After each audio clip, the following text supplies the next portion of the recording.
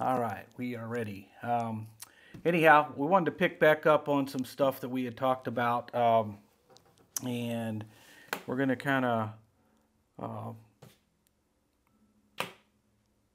again, we're gonna we're just going to kind of pick back up on some of that stuff, and let's just get into this uh, and see where we go today. But uh, if you've been reading some of the Facebook stuff, you'll kind of have an idea where we're at with all this. But uh, anyhow, let's let's start out with uh, some uh, short video here, um, and uh, I'll kind of give you an idea what's what's going on here with uh, some of the stuff that we had talked about. Uh, so anyhow, let's go with the gospel titles and authors. How did they get there? How did we derive or arrive or derive from what we had? So let's see what we got here. The titles and authors given in the Gospels of the New Testament read in most Bibles in large, bold text the Gospel of Mark, the Gospel of Luke, the Gospel of Matthew, and the Gospel of John. We as readers are led to assume, and some Bibles outright state, that these books were written by Jesus' disciples and direct eyewitnesses to the events they describe. Matthew being written by, well, Jesus' disciple Matthew, the former tax collector. John written by John, son of Zebedee, and in the case of Mark, a man connected with Peter, and Luke, named after a traveling companion mentioned by Paul in Colossians. However, this couldn't be further from the truth. As confirmed by early manuscripts of the documents themselves, originally these Gospels were untitled. Now, I just want to see that that manuscript that he just showed you is from the Codex. Um, it's the Sinaiticus Codex, um, and these are the earliest manuscripts of the full New Testament that we have available to us, which, again, if you watched our last video, you would know this is about the mid fourth century, about 350 years AD. Not name any sort of author. They were written anonymously, and the authors, whoever they might have been, never wrote their names, nor did they write in the first person or insert themselves into the narratives. This was no secret, or even something that interested early Christians. It was likely assumed at the time that these texts were not written by the disciples or by anyone who had significance in Jesus' life. It's actually quite obvious that the disciples hadn't written these texts when one notes that they were written in Greek by educated Greek speakers, likely outside of Israel, maybe from Greece, Asia Minor, or Egypt. Literacy in the ancient world was rare. By modern estimates, at the best of times in antiquity, only about 10% or so of the population was able to read, and most of these were concentrated in urban areas like cities, and not in the type of areas where Jesus' disciples might have been from. Keep in mind, most of them were fishermen and hard laborers in the countryside, by all accounts, peasants. The ability to read is one thing. In the ancient world, it was another to be able to write and compose a literary work. Few people in the first and second centuries would have been able to produce something like the Gospels. The few there were would have been from eastern cities of the Roman Empire, like Alexandria. Most scholars agree that none of the Gospels were written by eyewitnesses, and more likely to have been written by urban Christians who were recording oral and written traditions, sayings, and stories about Jesus and his life, passed down, and compiling them in a unified text. The Gospels themselves are not apologetic about this. The Gospel of Matthew is written completely in the third person, using they to refer to the disciples, and never we. The tax collector turned disciple Matthew is never referred to as me, but instead just him. There is zero indication in the actual text that we are supposed to be led to believe this man also wrote what we are currently reading. Same thing with Luke and Mark. The author of the Gospel of John clearly makes a distinction between himself and his informant, an unnamed disciple whom Jesus loved, who was the source of the stories and traditions he is writing down at the end of the Gospel. The end of the Gospel of John reads like this Peter turned and saw that the disciple whom Jesus loved was following them this is the disciple who has testified to these things and has written them. We know that his testimony is true. Jesus did many other things as well. If every one of them were written down, I suppose that even the whole world would not have room for the books that would be written. The anonymous author is simply stating he gathered this information for this text from an eyewitness of Jesus and that he had not met Jesus himself. The author dictated the gospel from this individual, whoever they might have been. It was only traditions made decades after the construction that tried to tie names to these untitled and anonymous texts, and the names just stuck, even though there is no factual or textual basis for them, and the texts themselves explicitly argue against it. To early Christians, it didn't matter to them who the authors of these texts were. However, later Christians wanted to bring more authenticity to the documents by making their authors direct eyewitnesses to the events they described. They would essentially take names that are mentioned in the New Testament and say, yeah, that guy wrote this, with no corroborating evidence. The tradition in our modern Bibles of providing names and authors to the Gospels is just not accurate to the original text. I will continue to refer to these as Mark, Luke, etc. for the sake of brevity. Okay, so there is more information on this, uh, the timeline when um, the Catholic, um, through the Vaticanus Codex, through all that, through the Vulgate, um, timeline where they actually did actually start putting names to the Gospels and the books. So anyhow, that's something that you can research on your own. Um, so that's that's one of the things. Let's let's see. Number eight. A couple more things I wanted to look at here. Number eight. Women omitted. It may be a surprise to learn that one of the major divisions in early Christianity was that of the role of women in the church. Now, I don't want to get too far in the weeds here on the women thing. Um, not that it's not important, but it's not part of our uh, study here.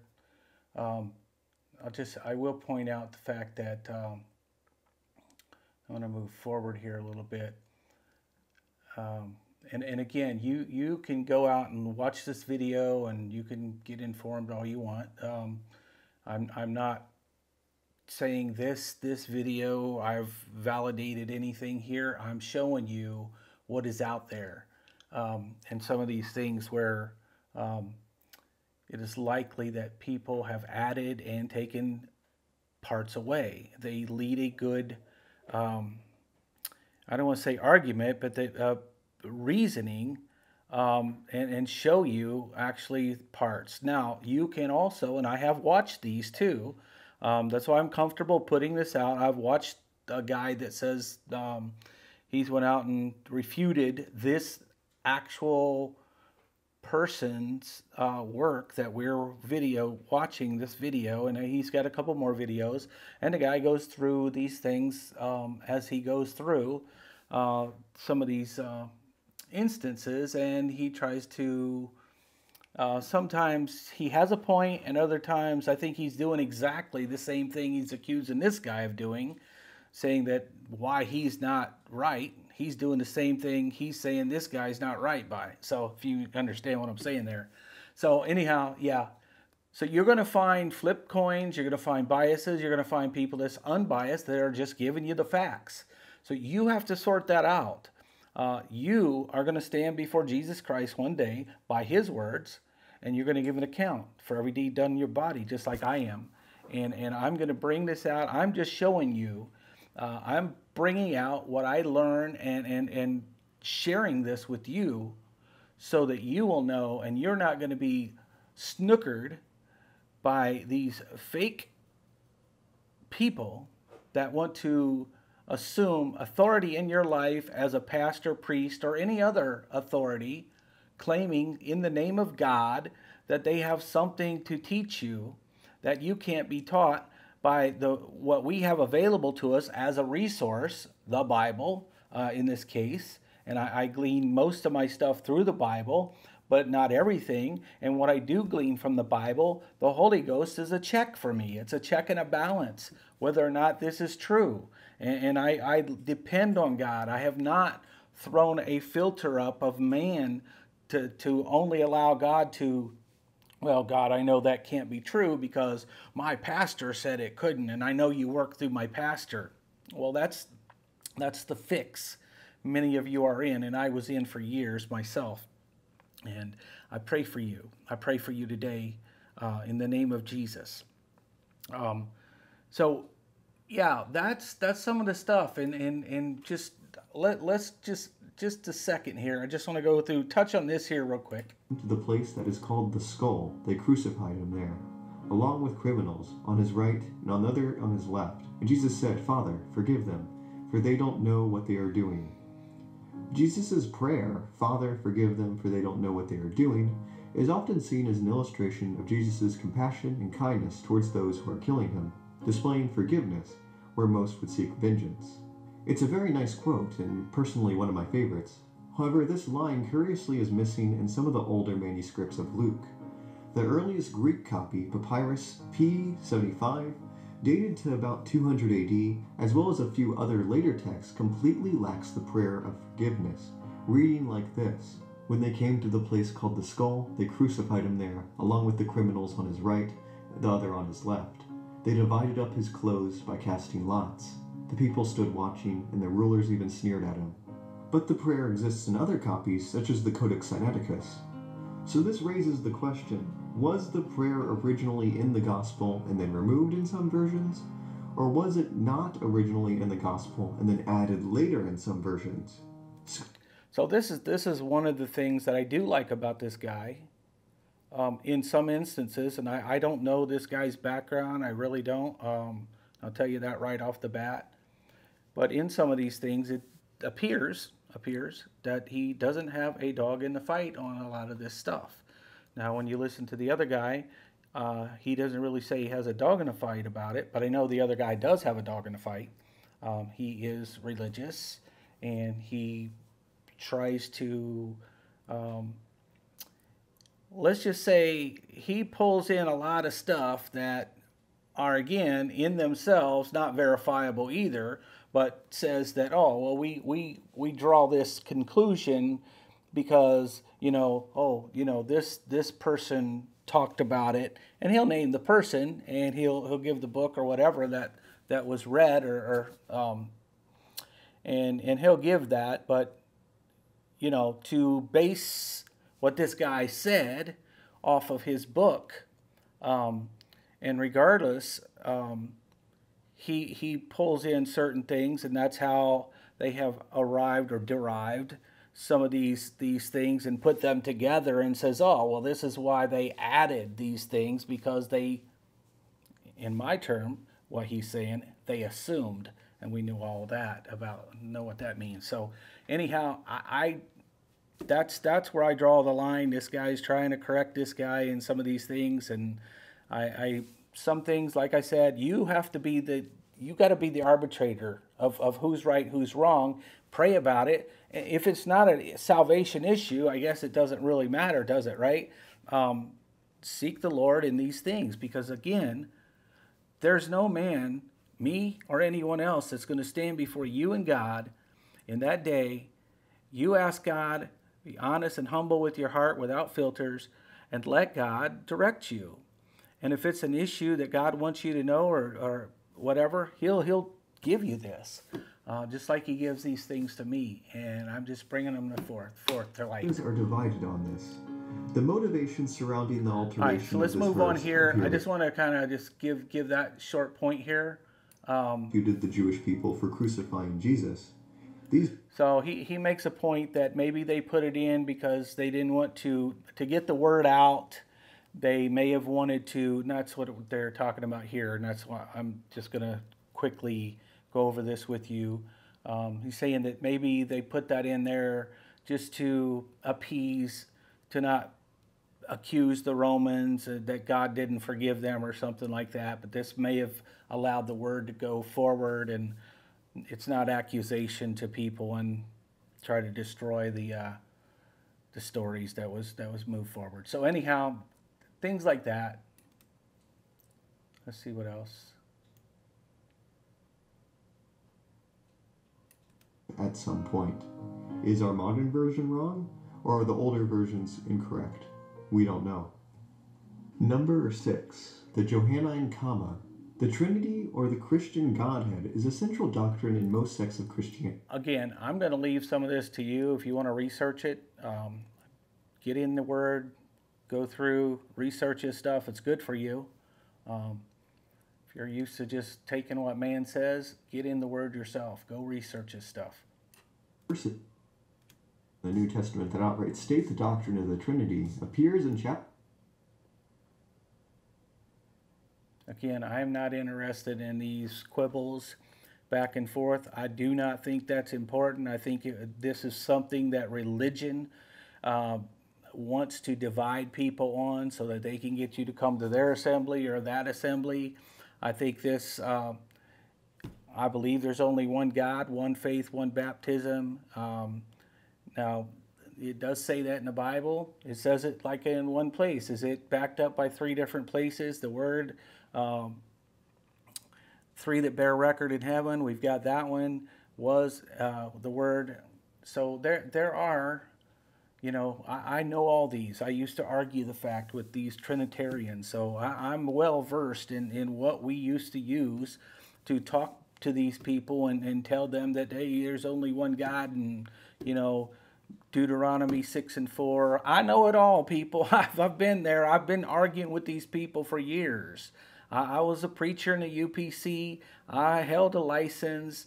Um, you know, I, I know these things. That's that's what maybe that's why God is using me to to bring this forth because I already have been there. I've, I've he is I don't know what Moses learned on the backside of that desert. But I can tell you one thing uh, if God has found a use for me to do this, I'm doing it. So uh, this, is, this is where I'm at today. I'm nothing special.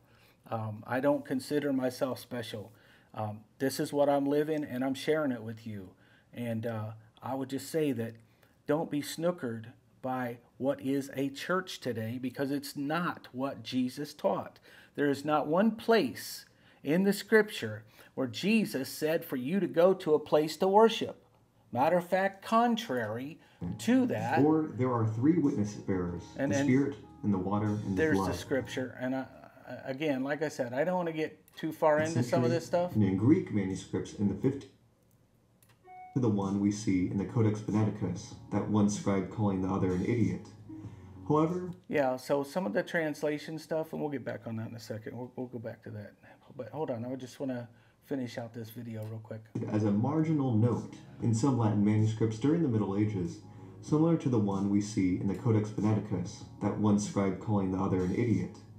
However, over time the marginal note was either accidentally or intentionally incorporated into the actual text. So, what he was just talking about, there are words that um, these translator scribes have changed a word uh, because they felt that that original word was more meaningful in this way to the writing than the word that was there. So they changed it to another word. It doesn't change the whole meaning, but it gives a better, in their thought at the moment, they thought went flowed better with the, the story that was going into that thought.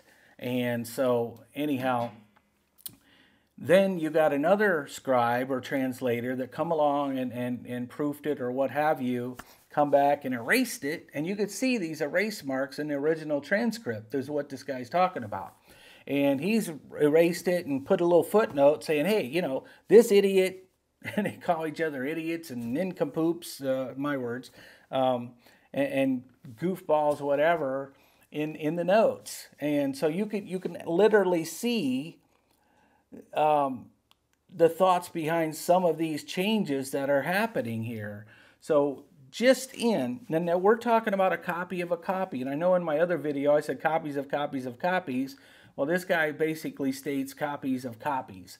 Uh, so he thinks there's only three iterations. He thinks each, I don't know how they arrived at this, um, but he, he says first century, second century, and then the third century. We have the third century um, middle of the fourth century, basically.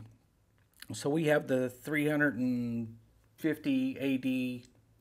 The the Vaticanus is uh, supposedly 330 AD, and then the Sinaiticus is 350 to 360 AD. Um, on the timeline that we have that they've established. So I don't know. He says like the third iteration or copy. This would be the second cop, third copy, one, two. So I guess it'd be the second copy, which would make it the third. Uh, how they arrived at that, I have no idea. I have not researched that, or I have no rhyme or reason. Maybe it's copied 10 times. Maybe it wasn't just once every 100 years, like they're assuming here. And again, I don't know how they arrived at that. So, either way, if it was every 100 years, then this is the third copy that we have the latest and greatest of.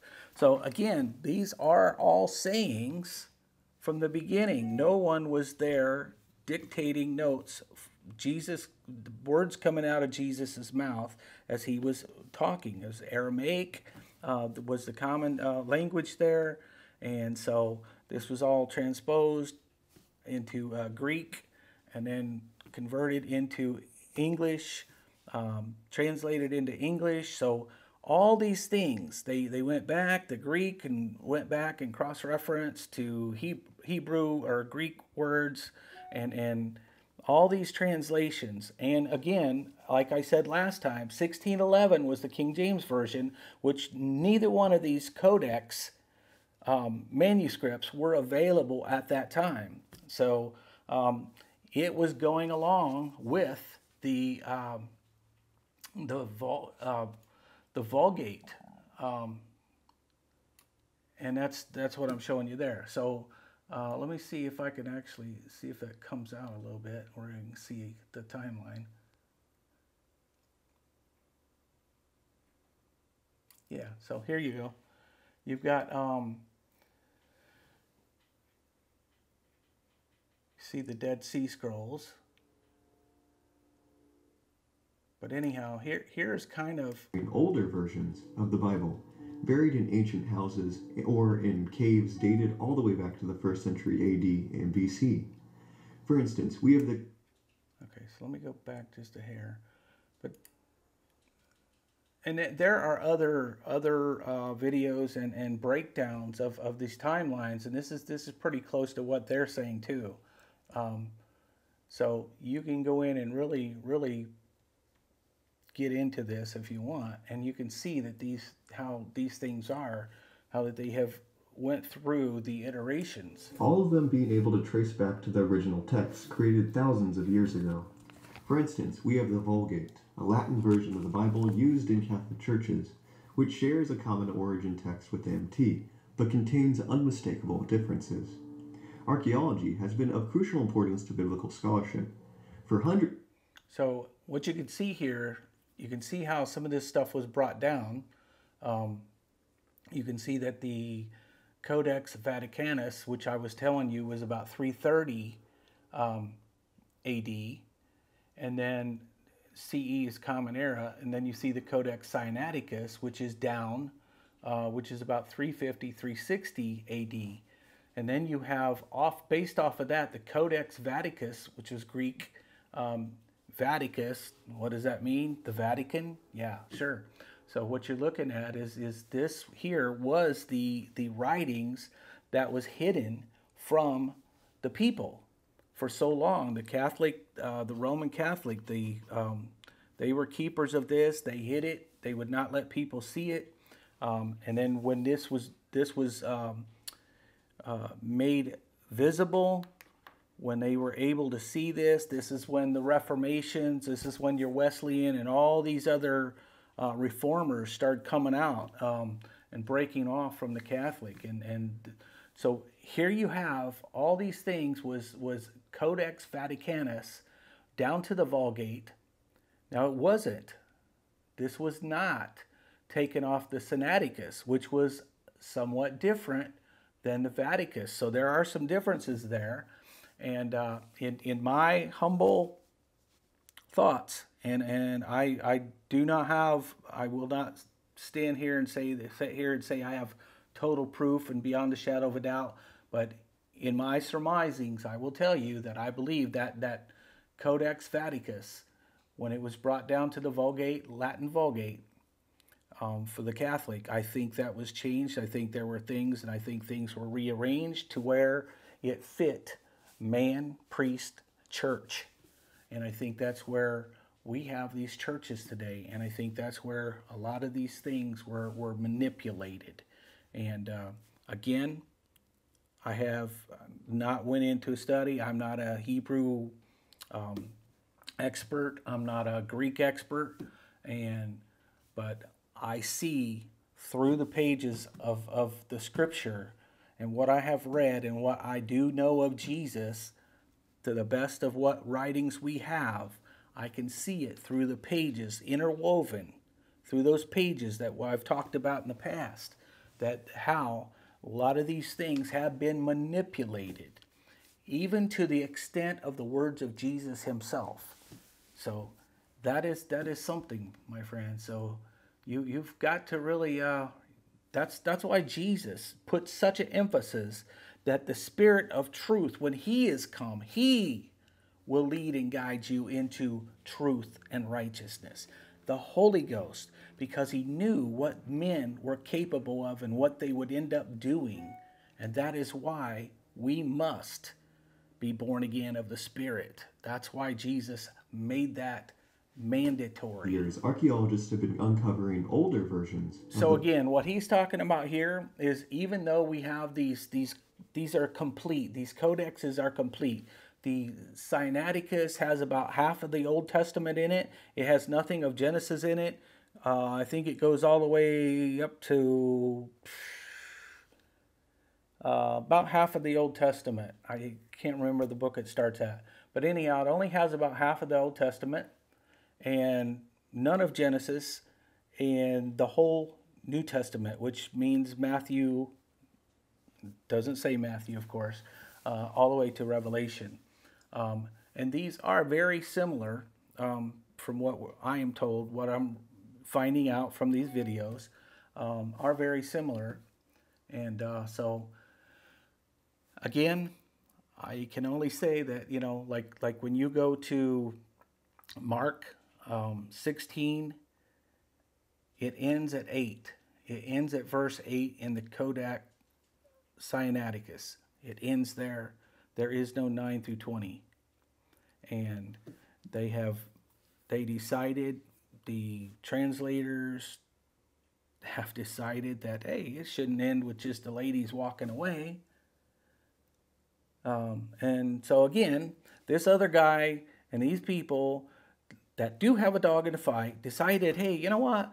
We need to add something to that. It makes sense that, oh, well, we can extract from this and from this writing and those writings and, oh, what this person said, what that person said. Oh, well, that'll be fitting there. That, that, that would make more sense. We don't want to confuse the writer because, you know, God's not the author of confusion, right? So they have played with this stuff. And so this is what we got today. And it is massaged for you to go to church and you to be the sheep that you're supposed to be. And they have created these pastors and and all these things that, that you could look up and, and continue on with the priesthood that Jesus abolished. And uh, it looks like we've been a little longer than I wanted to be already. Um, but anyhow, nonetheless, uh, let me let me jump off this video here. Uh, again, I'm going to do more on some of this stuff here, and uh, I think I think that it, it's a good thing. Um, so anyhow, let's go with let's talk about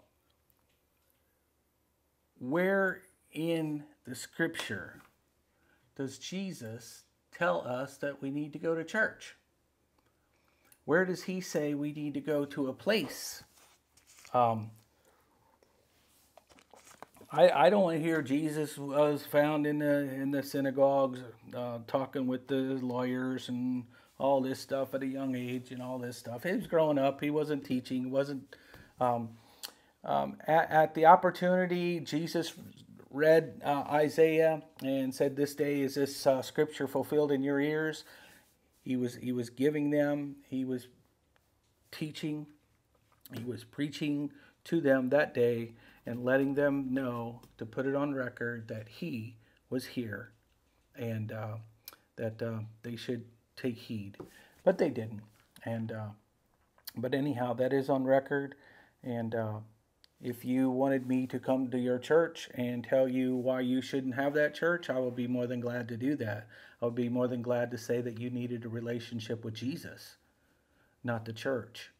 And uh, I, I would I would give you truth um, and I would tell you what you should know about Jesus and not what uh, the man wants you to know about the church, the building, and, and those things. But anyhow, not one passage do you find Jesus directing anyone to a church, uh, to an assembly, Um, again, I've given you why some of these things I don't feel, even though they're written, are, are honestly associated with what Jesus had, where you guys are pulling, where the church religion is pulling these things across the line and saying, "Oh, well, this is this is said here, or this is insinuated, whatever." No, I don't. I'm not buying it.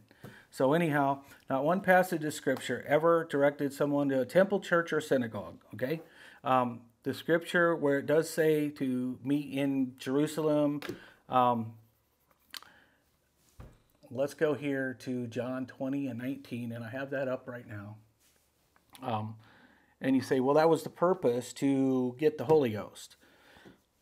This was the where they were supposed to assemble, and though it did happen, as the writer says, and what was told, um, I'm, I'm not I'm not saying that it didn't happen that way uh, or something similar to that. Um, I'm just telling you that's not the only way that it could have happened. And we're going to read this scripture right here, and you don't have to believe this scripture if you don't want to.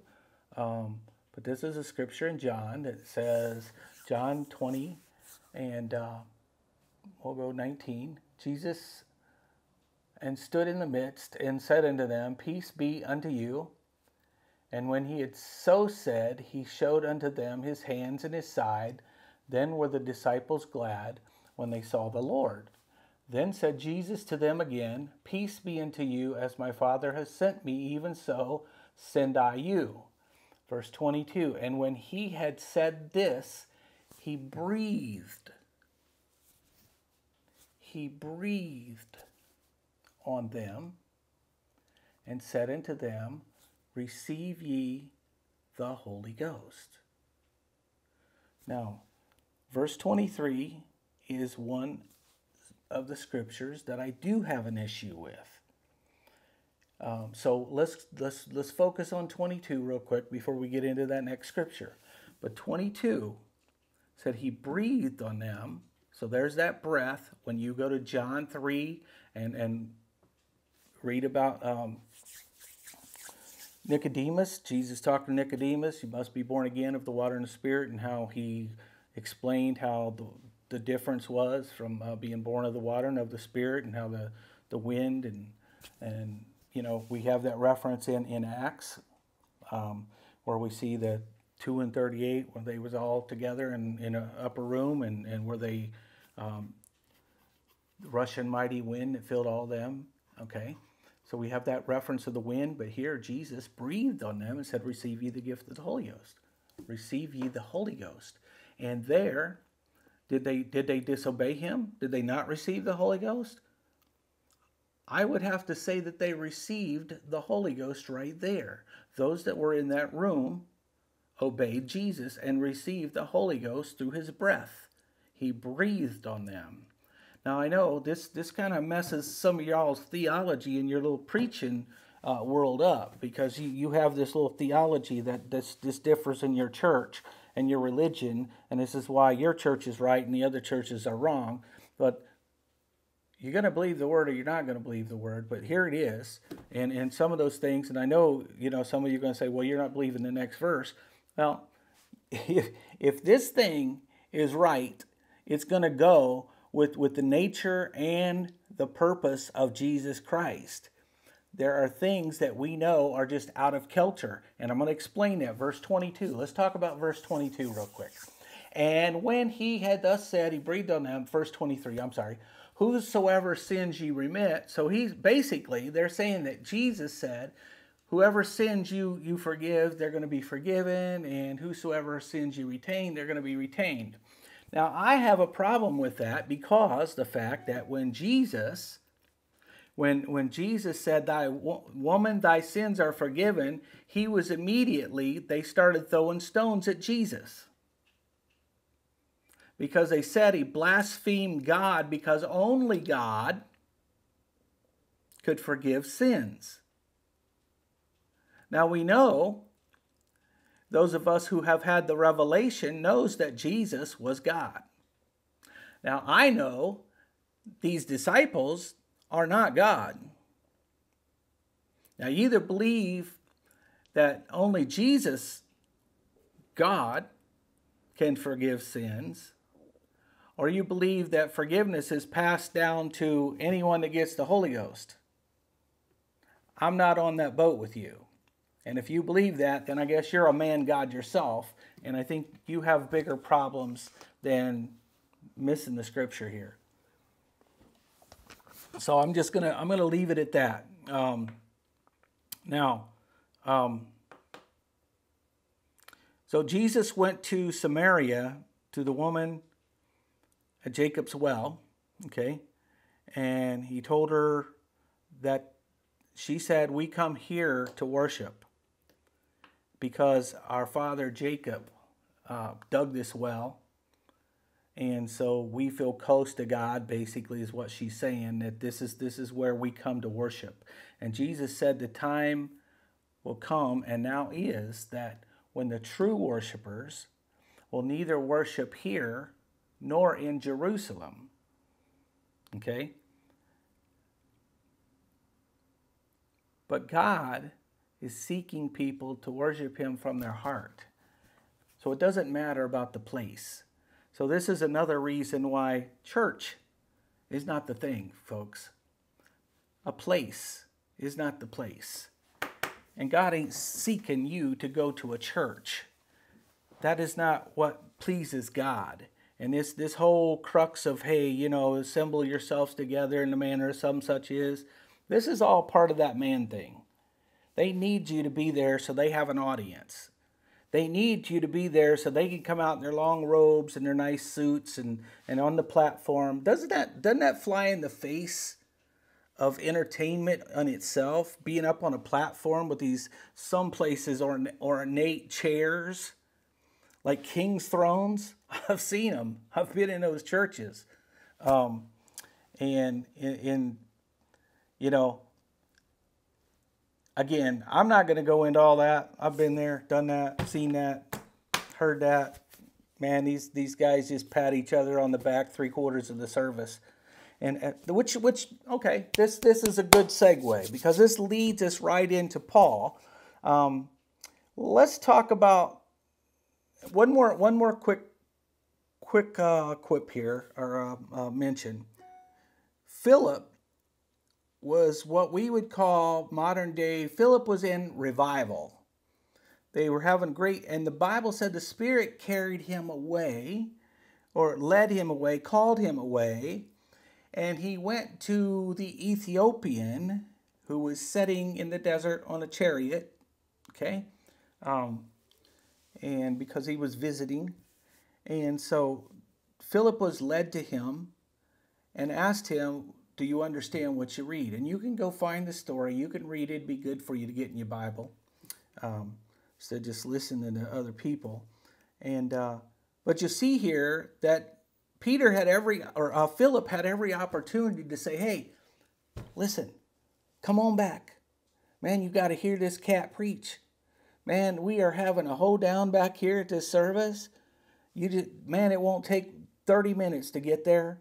And and you'll be back in time. But what what what do you got to do anyhow, man? They'll, they'll you'll you'll find out all kinds of stuff. Man, this guy cat preaching, man, he's on fire and all this stuff, dude.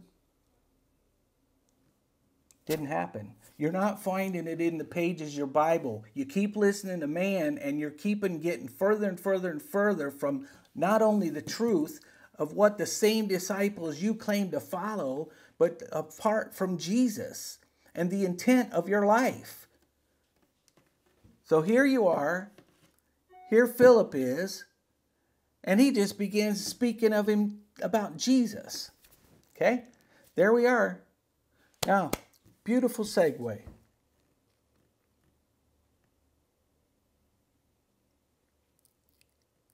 Let's talk Paul last one we talked about, and I, have I've made some statements on, on Facebook. If you're not on Facebook, um, maybe I'll get these in the next time. But but we talk about Paul's disciples when when the writer Luke supposedly or whatever whoever this character is that wrote Acts and Uh, maybe, maybe not the book of Luke 2. I'm not sure anymore. Um, that's what they say because of the style of writing and stuff. And I don't know, maybe, maybe so. I'm not going to say not. But when you look at Paul, and I'm not going to go into his conversion and stuff, that, that's just unbelievable to me. Jesus is not bringing um, harm and fear to convert you. That's that never happened in the pages of the Gospels, uh, according to uh, these writers or these sayings. Okay. So, um, when you go, and I spent about I don't know half an hour plus today just kind of googling out some of the scriptures, just seeing what what um, what's out there, just just to kind of validate some of some of the things that already never seen. But you kind of the writer kind of brings you to because you know Paul's continually you know in the beginning of a lot of these uh, things and books of his attributed to or or uh, apocryphes. Um, is saying, you know, the Lord Jesus, a, a, servant of Jesus, and all this stuff, and try to establish this up here. And then you go in and it says, um, you know, you look at, well, what what miracles did Paul have? What miracles did Paul do? And you know, I was like, well, let's let's dig into this a minute. Let's just on the surface. We're not digging deep here. It's just on the surface. Read your Bible. And I'm like, where did Paul invoke the name of Jesus? Because we know he never talked about Jesus' family. We know he never talked about Jesus' miracles, his exorcisms. None of those things that Jesus did did Paul ever mention. Um, and I'm like, wait, hmm, I don't remember Paul really even talking about invoking the name of Jesus. So I did a quick little search and look up and read the scriptures. And lo and behold, guess what? You know, Paul has disciples, uh, just like Jesus had disciples. And there's this parallel, and I've talked about this before. There's as you read in Paul's conversion and between with King Agrippa and all this, you almost start feeling for Paul like you felt for Jesus as Jesus was being led to the cross and going through these court systems. And then when you go through, you got Paul going through the court system parallel to Jesus, and you start having these same feelings and almost tears for Paul. I did. I remember when I first started reading the New Testament, and it's like, oh, Agrippa, you know, I would that you would, you know, uh, know Jesus and stuff. And, and, and when you look at that, and, and, and you look at that, and it's like, you know, Paul, and, you know, you just start feeling sorry for Paul, and you be thinking that, you know, and and almost some transformation happens that Paul becomes this hero. And to the level that Paul becomes I'll just like Jesus or replaces Jesus. And that to me is what the writer was trying to do because when you follow on and you begin to see the the things that are attributed to Paul so when let me let me go for a couple instances here. Again, like I said, you'll hear a whole lot about I'm the servant of Jesus Christ and all this stuff, but you don't hear what you won't hear is Paul invoking the name of Jesus. So Paul, um, miracles or the intents that happened.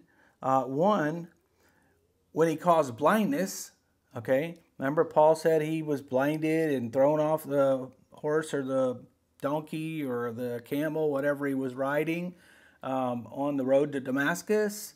Uh, and then later on, Paul caused blindness to someone else. Um, he didn't invoke the name of Jesus, which I don't think either one of those was part of Jesus, uh, either his conversion in that manner or this guy's blindness because Jesus never made anyone blind. He always healed blindness. He, he restored sight. Um, and then number two, crippled man uh, from birth, Acts 14 and 10, right? Um, the one in Lystra, okay, he never invoked the name of Jesus there either. Uh, just says Paul healed him. um, whether it said he prayed for him or not. And, and at the most, you'll see that God gets the credit, not Jesus. Okay? Um, and when you go to Acts 28 and 8, the third one that I, that I ran upon today, Publius or Publius, however you say it, his fever was healed, but neither was that ever invoked by the name of Jesus by Paul. So you have these um, but you don't find Jesus mentioned. So, some of you, if, if you don't think that's odd, you really should think that's odd because this is not preached on. None of this stuff is brought up. So, these things here, there, there, there is there is some really big questioning that should be going on, and uh, I'm just gonna say, you know, that's that's kind of where I'm gonna end this today. But uh, man, y'all y'all gotta y'all gotta look at these things because this this stuff is important. Y'all being drugged through the mud here with with uh, with some bad things that that you need to you need to seek God for. You need to quit looking and and relying on these people lying to you. And uh, so I, I'm just gonna say, you know, you really you really got to look into these things. And i am to continue bringing these things to light as they they come to light for me. And i'm to share these things. Uh, i'm not asking for anyone to follow me. I don't want you following me. I want you to find jesus. I want you to have a relationship with jesus. Not a church not some pastor those are unimportant those are important for you not to do um, so with that um, thank you for watching, and I hope you seek out the Lord in um, communicating with Him. Get a relationship with Jesus, not a church. And again, if you want to use a church or whatever for a resource, just don't use them for your your relationship with Jesus. These may be tools for some of you to not feel lonely and you want to be around people or whatever, but they're they're really they should be no different. They should be no higher than than going to a skating rink once a week and having friends there, or going to to the the VFW. You know, if you found a good place with people that aren't you know cussing and doing things that you don't feel that are you know up and up and the way you'd like to live those things there are, are, are things that you can go to. You know, maybe you like to go fishing or something. You got a group of fishing buddies, or maybe go meet at McDonald's or something with some people that that have like interests that you have, and and and nobody's being you know vulgar speaking and trying to chase women and do all that stuff that that you know is ungodly. Those use that as a resource if you will, but the point is is don't let them drag you into thinking that is your relationship with God because it has not in the Bible that way, not from Jesus. They have led people away from Jesus. It leads you away from Jesus in the scripture. And this is what they play with. So God bless you and seek Him. Seek Him only. He is the only one. Go in peace in Jesus' name.